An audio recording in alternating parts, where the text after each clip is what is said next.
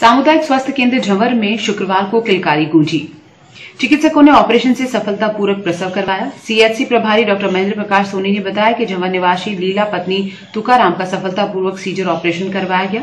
नवजात शिशु और माँ स्वस्थ है। चिकित्सा विभाग कोविड 19 की गाइडलाइन के अनुसार ऑपरेशन पूर्व कोविड जाँच करवाई गई। रिपोर्ट नेगेटिव आने के बाद आपातकालीन block caesarean operation team Luni को सूचना दी गई। आवश्यक प्रबंध कर झंवर सीएचसी पर सफलतापूर्वक दूसरा सीजेरियन ऑपरेशन किया गया। समुद्र स्वास्थ्य केंद्र जवर में दिनांक 6 जून को सिजेरियन द्वारा प्रसव कराया गया। इसके पूर्व में दो सिजेरियन हो चुके थे। सिजेरियन में डॉक्टर महेंद्र प्रकाश सोनी ने निश्चित विशेषज्ञ डॉक्टर मंजू गुप्ता ने डॉक्टर हंसा सोनी ने स्त्री रोग विशेषज्ञ एवं डॉक्टर दिनेश सोनी ने फिलेटिशन के रूप में काम किया। साथ में ओम प्रकाश चौधरी ने ओ टी के रूप में सहयोग किया।